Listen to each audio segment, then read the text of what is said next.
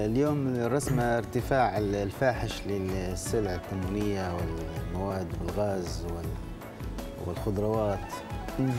ال- نشوف في كاريكاتير قدامي هنا إن بمبلة الغاز دايره جناوح وبتطير وحكة الطماطم دايرة حتى جناوح وبتطير مش بتطير طايرة. والحليب حتى هم دايرين جناوح وطايرين في السماء. يعني الأسعار مرتفعة زي ما تشوفوا مشاهدينا.